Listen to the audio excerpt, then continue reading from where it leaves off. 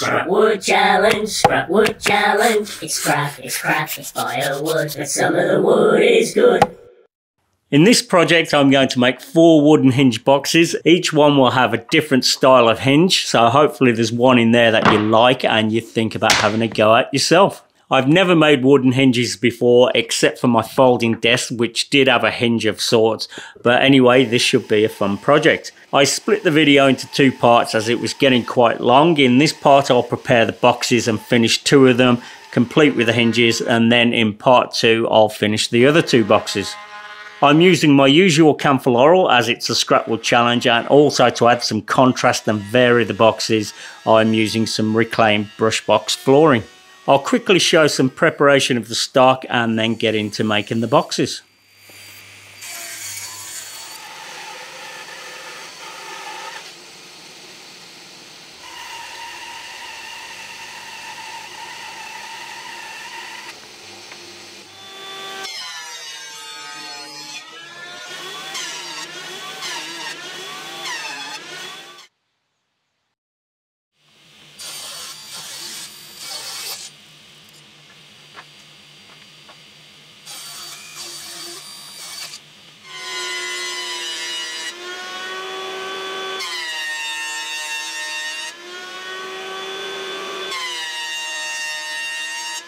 The Camphor Laurel looks great, but it's difficult to get a good finish with its interlock grain running in different directions.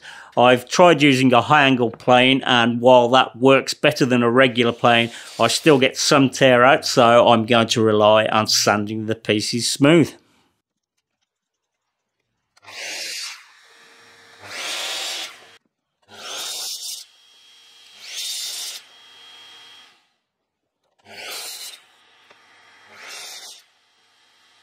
That's the pieces cut to length for all four boxes. Now onto the joints. For that, I'm using box joints and using my John Heisz box joint jig.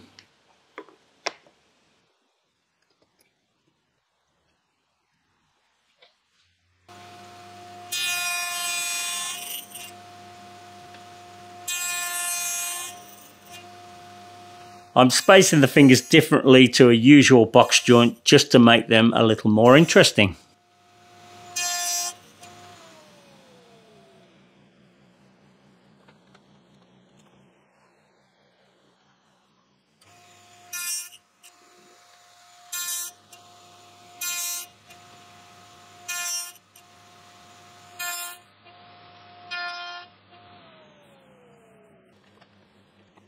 To avoid making mistakes, I've marked the back of the jig so I know exactly where to make each cut.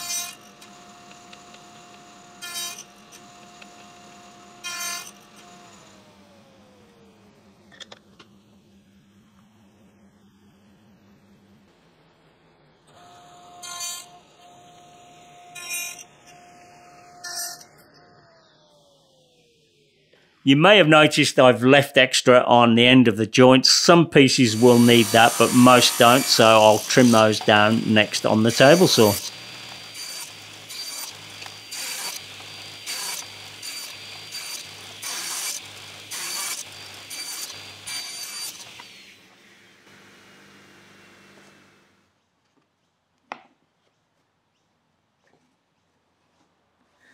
Next, I'll cut a groove for the bottom of the box to fit into. I'm using a router so I can stop the groove before the ends of the workpiece.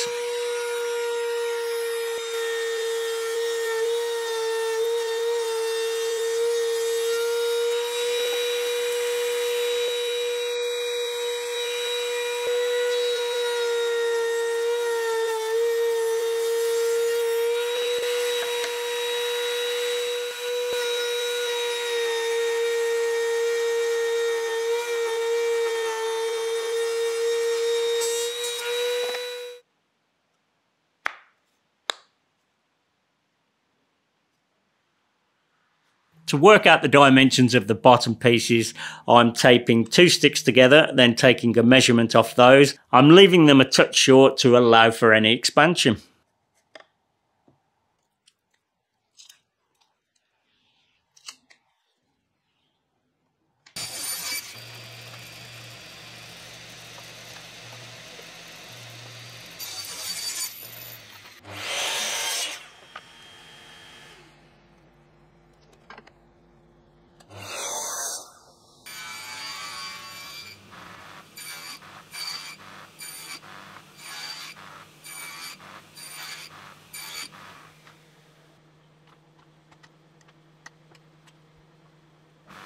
The bottoms get a rebate and the lip that's left is what fits into the grooves on the box.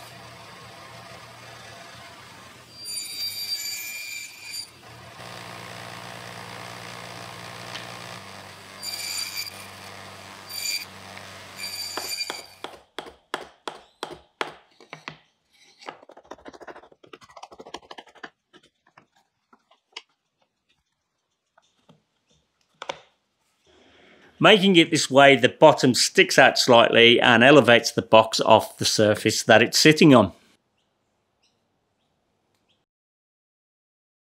Now I'll glue the first one together and then get on to making a hinge. Before I do glue it together, I'll sand all the inside faces of the box first.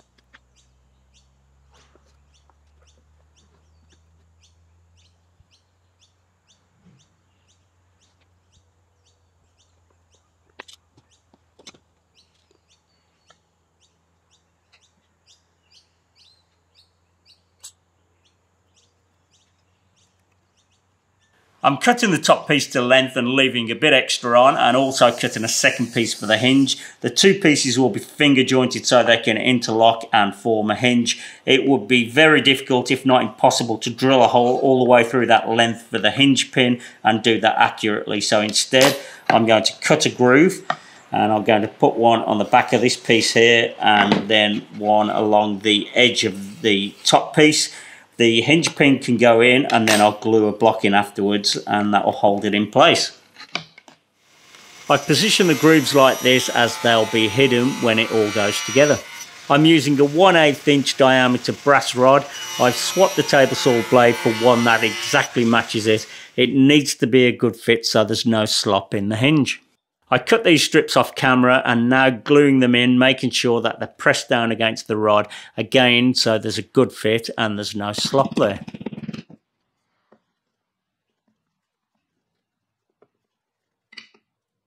I left it a couple of minutes, just enough time for the glue to take and then remove the rod and use that to glue in the other one.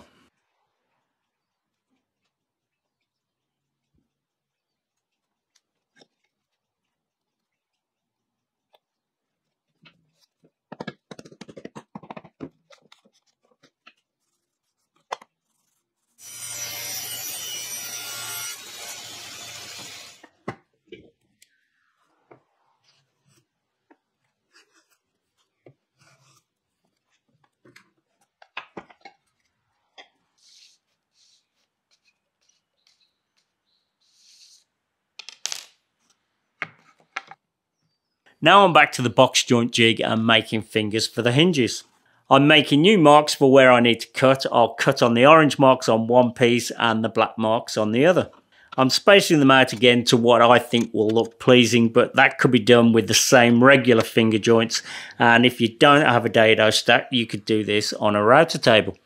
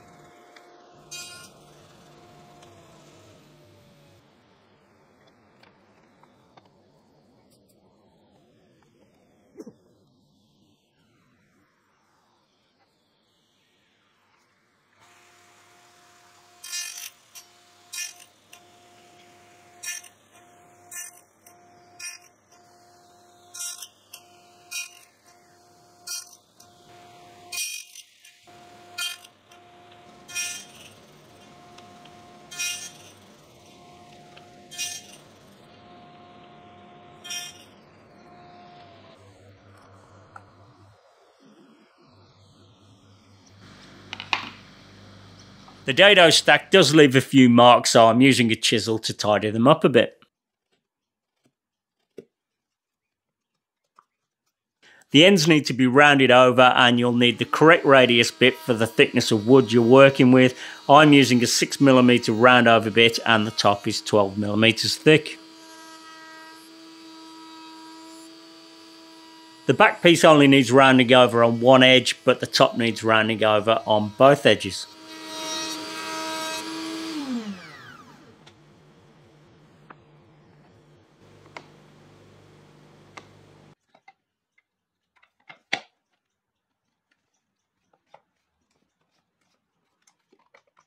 There's not quite enough clearance as that round over isn't perfectly round, so I'll carefully sand it a touch more.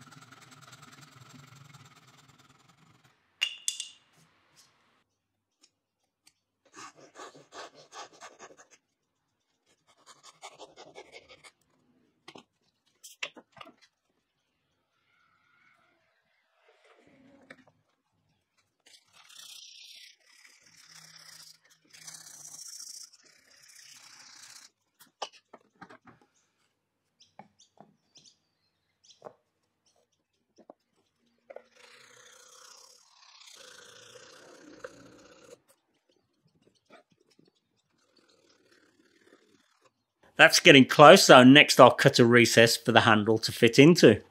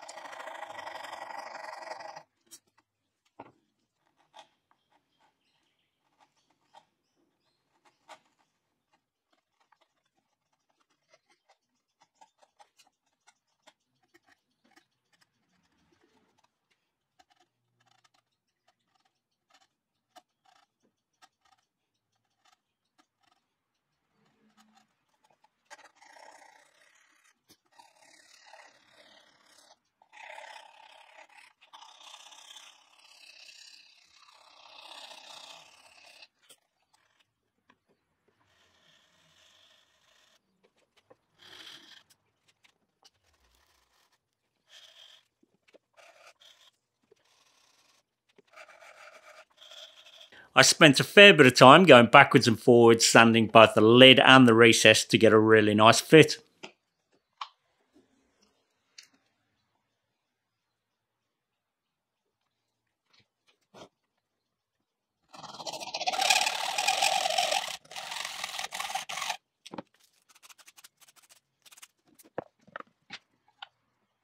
I could have cut the fingers directly on the back piece of the box, but I reckon this way will look much better.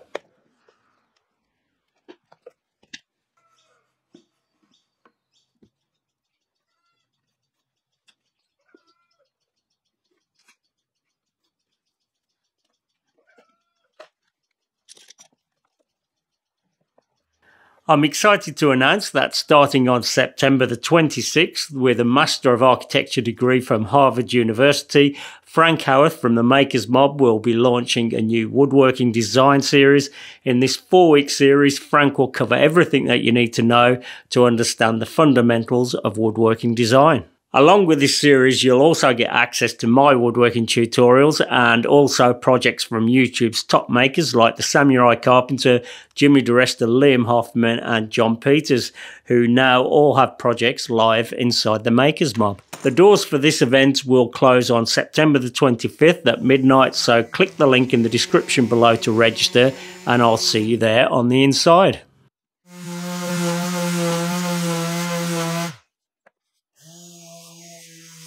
Even though I didn't show it, I did do some hand sanding as well. Um, for the finish, I'm using a hard wax oil from Whittle Waxes. It's a matte finish and I'm only showing one coat, but after leaving it overnight, I gave it a light sand and applied another coat.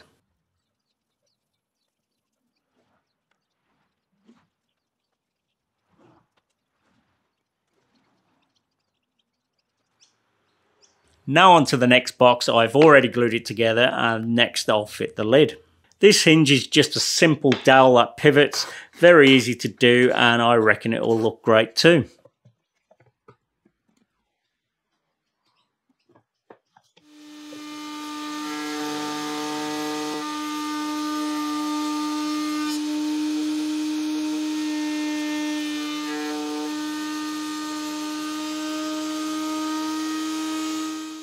I'm going to leave a tab on the lid for a handle again, but this time I'm not rounding the internal corners and I'm going to keep it squared just to see how that looks.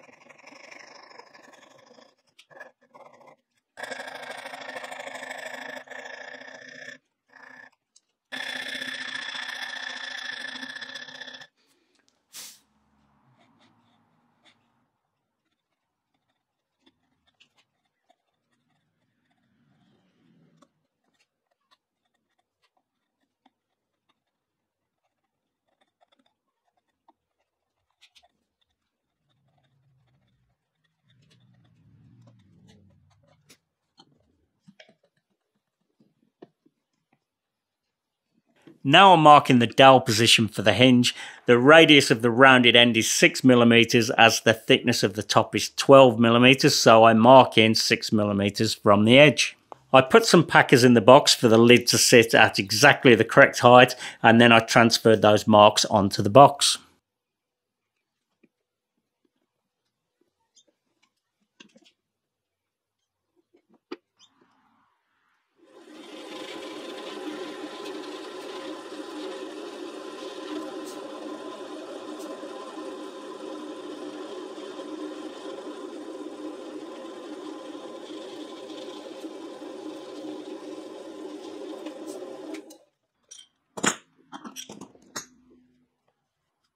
Because the dowel will be exposed, I'm making them from brush box to match the sides of the box.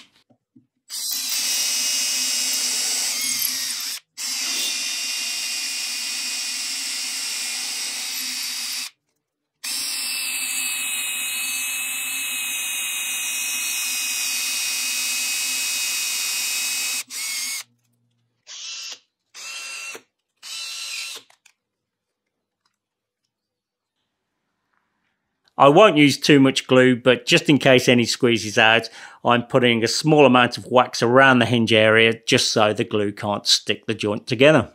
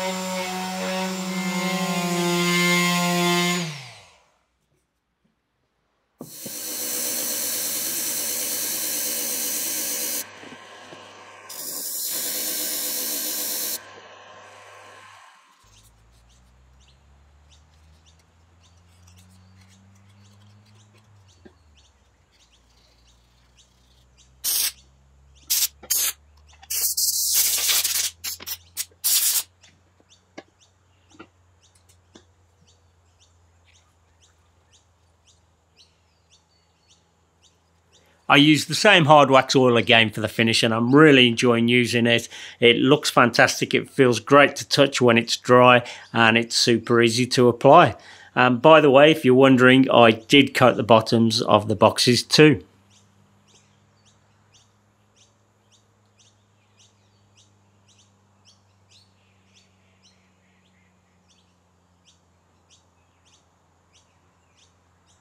I reckon they turned out great. They were heaps of fun to make. And don't forget to check out the next video where I'll make the other two boxes. On one of them, I'll be using a Rob Cosman style hidden hinge. They're very cool. I made this test piece just to try it out. And if you look when it's closed, you can barely see where the hinge is. Hopefully you enjoyed this video. If you did, please like and subscribe. Thanks for watching and I'll see you on the next one.